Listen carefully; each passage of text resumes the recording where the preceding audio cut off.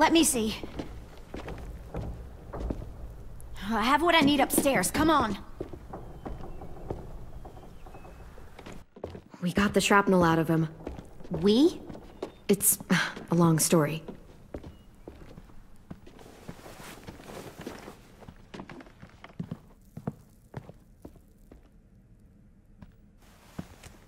He's running a fever. Body's trying to fight infection, poor little guy.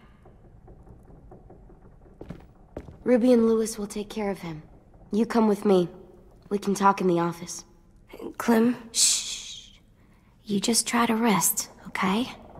We're gonna fix you right up. Clem!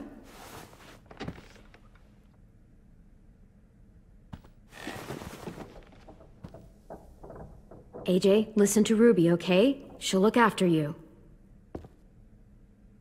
Come on, what do we do when we're scared? When fear starts to get the upper hand,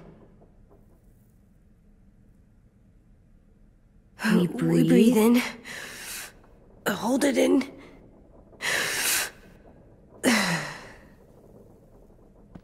I'm good now.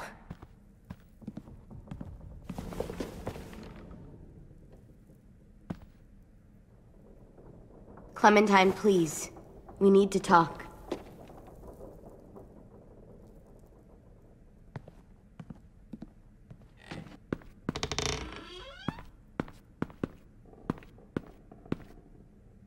What happened out in the woods? I saw they had you pinned and I... Shit, I got so crazy. When I heard you call for help, I didn't even think. I just let go of the arrow. I wasn't even sure if I'd hit her. And then Louis got shot six, six inches over. We'd be digging another grave. I really thought you were dead, Clem. It's just everything is so fucked right now, you know? Everyone is scared, Clem. It's really good to see you again. It's good to see you too. Just wish Mitch and the others felt the same. Louis and I told them what happened in the woods. That woman who attacked you. Lily. So you do know her. We were wondering. Who the hell is she? I mean, I know you're not, like, with her group, but the others don't like the coincidence. Her showing up right after you? I mean... Lily and I were friends a long time ago. Friends? Back when the walkers first showed up, we lived in a motor inn. Survived really awful shit. Lily tried to keep us all together. Looks like she's changed. Yeah, seems that way. She murdered someone in our group, gunned them down during an argument. Carly was her name. She refused to let Lily push her around. It was right at the start. I haven't seen Lily since. I believe you. But?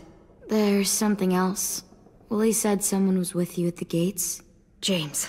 He saved me and AJ, let us stay in his camp for the night. But why did you bring him here? You led him right to us. I mean, he's a stranger, Clem. Running into those two in the woods, it proved we can't trust anybody. You don't have to worry about James. We can trust him. Willy said he was wearing, I don't know, animal skins or something. He was wearing walker skin. That's how he gets past herds. He can guide them, too. wow. Okay. I wouldn't have brought him here if I thought he was a threat. It's not that I don't trust you. I'm just worried about the others and what they might do. They didn't even get a chance to mourn Brody and Marlon before these child-snatching assholes showed up. And then you two come back after we thought you were dead. Now they're confused, and no one knows how to feel about AJ. Violet, AJ is the least of their worries. I know, but everything is such a mess. They're scared and angry, and they're looking for someone to blame. I mean, they kicked you out. How am I supposed to make them change their minds about you? It was decided. Five to three against. I know it feels like it shouldn't matter, but they were afraid of you. Both of you. You're sitting in Marlon's chair, aren't you?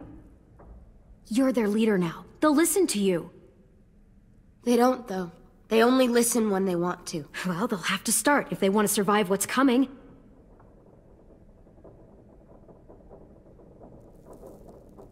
James told me what Lily and Abel will do next.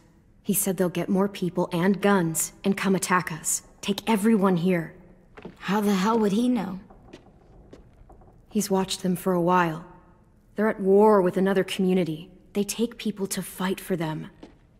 Is that what happened to Minnie and Sophie? They turn them into soldiers? Yeah, it'll happen to us too, if we don't stop them. Minnie didn't even like killing walkers.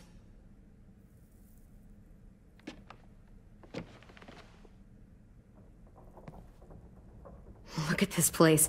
It's a fortress. With a little work, we could make this place really hard to attack. Do you actually know how to do that? Yeah, I was part of a siege once, in a town called Richmond. Here, let me show you.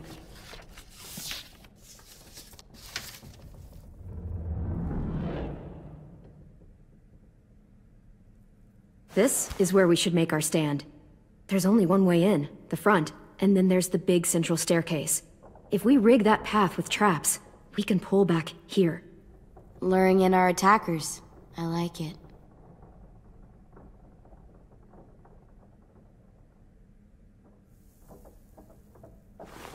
The courtyard's pretty wide open, not a lot of cover. We should flip the picnic tables, narrow down the pathways through it. So we'll know which way they're coming. At the very least, it'll give us protection if they get past these walls.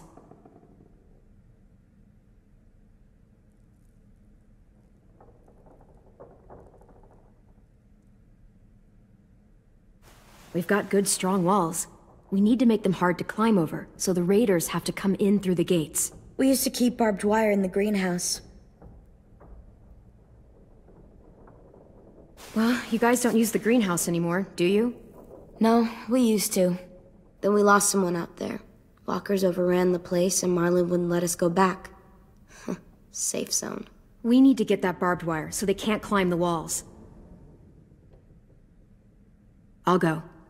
Are you sure? It's gonna be swarming with walkers by now. Okay, what the hell's going on? Lily told me she was back, but I was like, no way. Violet wouldn't just go against what we all decided. Shh! Would you keep it down? The little boy is asleep! His fever's already going down, Clem. He's gonna be okay. Great. We're just giving them our medicine, too? Mitch, those people who shot Louis, they're arming up to attack the school. We need Clem's help. Like hell we do.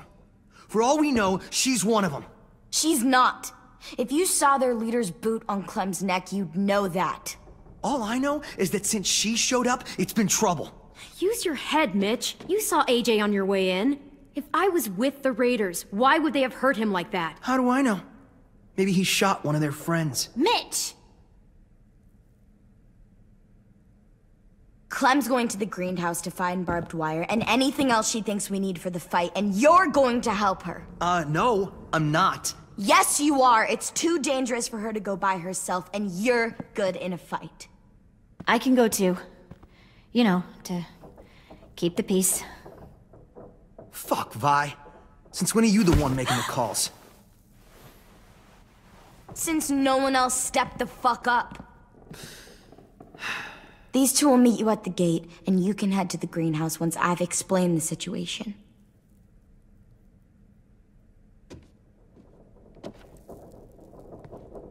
See you there.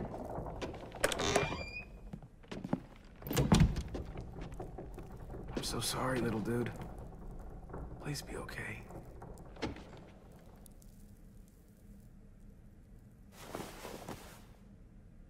I...